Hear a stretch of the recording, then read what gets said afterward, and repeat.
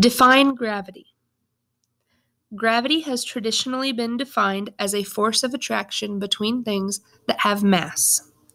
According to this conception of gravity, anything that has mass, no matter how small, exerts gravity on other matter. Gravity can act between objects that are not even touching. In fact, gravity can act over very long distances. However, the farther two objects are from each other, the weaker the force of gravity between them. Less massive objects also have less gravity than more massive objects. In one to two sentences, summarize the paragraph above. Then, answer the following question What objects have gravity?